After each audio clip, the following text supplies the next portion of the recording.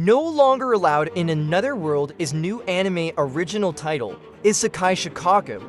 僕は生まれながらに作家だよ。それこそ僕の人生だ。なるほど。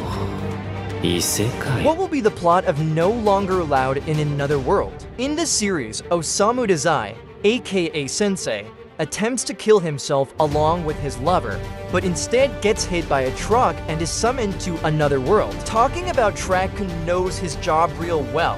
When pulled into an otherworldly adventure with cute sidekicks and superpowers, you'd think Osamu hit the jackpot. Not at all. From a time before Pixels, the early 20th century gloomy author just wants to find a quiet place to meet his maker, not to rack up XP. Sadly, his poetic demise is constantly thwarted by inconvenient heroics. Dive into the hilariously tragic life of the most reluctant hero.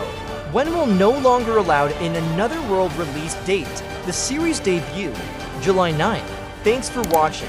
Don't forget to like, comment, and subscribe for more anime content. 死に場所を探しているだけだ死のうこんなに弱い店員さん